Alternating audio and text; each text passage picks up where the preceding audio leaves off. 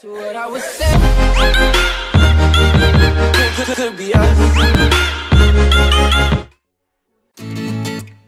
Hey guys, I am R from TechLab and in this video I'm going to show you how to see notifications even after clearing them.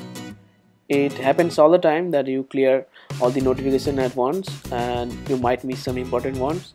So if you want to look them back then it is the easiest way possible. So what you have to do is just go to the widget section. And under the widget section you have to find the setting widget. And as you can see and just pin it to the home screen. And you can see bunch of options. And under the options uh, you have to choose the notification log like this. And just have to tap on it. Now just open the app